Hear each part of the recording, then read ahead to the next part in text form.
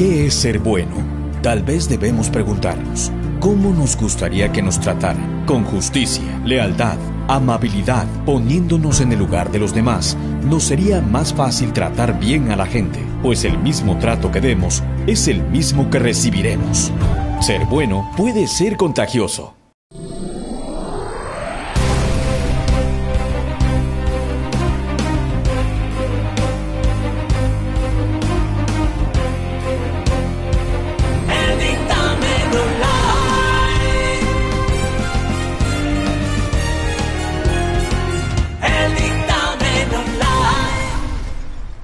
Hola, ¿qué tal? Les saludo este jueves 27 de noviembre del 2014. Esta es la información en el dictamen online.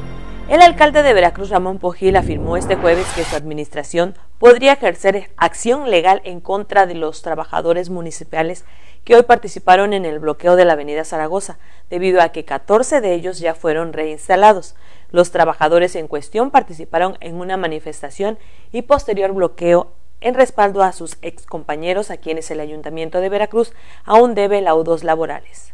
A diferencia de otros municipios, el alcalde de Alvarado, Gustavo Ruiz Barroso, aseguró que la entrega de aguinaldos está garantizada para los trabajadores. Dijo que la partida ya está dispuesta para ser entregada en los tiempos que marca la ley a alrededor de 250 trabajadores. Ruiz Barroso aseguró que la prestación que en total asciende a 4 millones de pesos aproximadamente, fue prevista desde principios de año.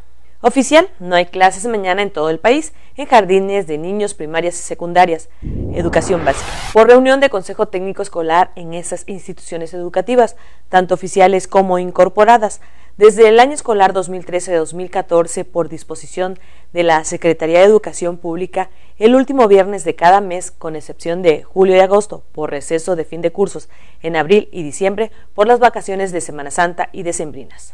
El administrador del Aeropuerto Internacional Heriberto Jara Corona, Simón Salazar, informó que a partir de la próxima semana el Estado Mayor Presidencial tendrá presencia en las instalaciones con la finalidad de afinar los detalles del operativo de seguridad que será implementado durante la realización de la cumbre iberoamericana de jefes de Estado y Gobierno. El entrevistado aseguró que el Estado Mayor será el encargado de la seguridad de los 22 mandatarios y demás personalidades del ámbito mundial que participen en dicha cumbre a realizarse los días 8 y 9 de diciembre. La coordinadora de Movimiento Ciudadano, María del Rosario Quirasco Piña, denunció que el Partido Naranja interpuso una denuncia en contra del Ayuntamiento de Acayucan ante el Instituto Nacional Electoral luego de que éste emprendió una campaña en su contra. Apuntó en conferencia de prensa que en vehículos oficiales funcionarios municipales borraron la propaganda del organismo político que representa. El delegado de la Secretaría de Desarrollo Social en Veracruz, Arturo García García, anunció que debido a que el 2015 será año electoral, dicha dependencia buscará blindar sus programas en toda la entidad veracruzana. De esta manera explicó que la dependencia podría adelantar o reprogramar la entrega de apoyos e incluso podría haber modificaciones en las reglas de operación para que no se malversen los recursos. Veracruz se encuentra entre los 20 municipios que oferta más vivienda nueva a nivel nacional y a la fecha se ha otorgado el 88% de los créditos disponibles, dijo el presidente de la Cámara Nacional de la Industria de Desarrollo y Promoción de Vivienda en Veracruz, Carlos Ramírez Capo.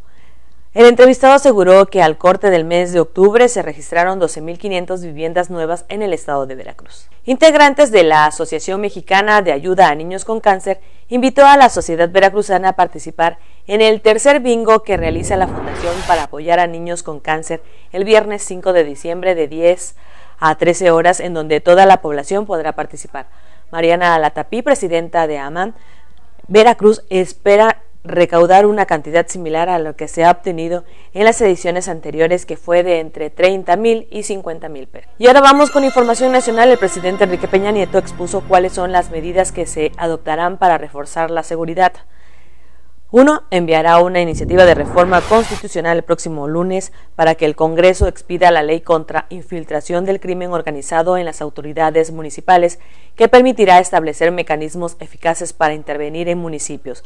Dos, creación obligatoria de policías estatales únicas, creación de un teléfono único para reportar emergencias a nivel nacional, que podría ser el número 911 y ordenar despliegue de fuerzas federales en Tierra Caliente y en municipios de Jalisco y Tamaulipas que así lo requieran, entre otras.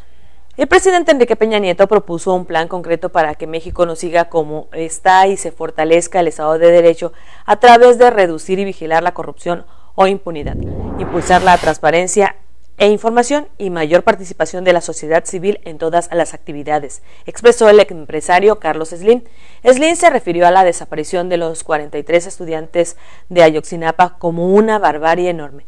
Fue una gran desgracia lo que pasó, sacudió a todo el país, irritó a todo el mundo, dijo el empresario. Salvador Malo, director general de Educación Superior Universitaria de la Secretaría de Educación Pública, aseguró que la suspensión del diálogo el pasado martes con los jóvenes del Instituto Politécnico Nacional fue de común acuerdo y luego de que se presentaron incidentes afuera del auditorio Alejo Peralta en Zacatengo.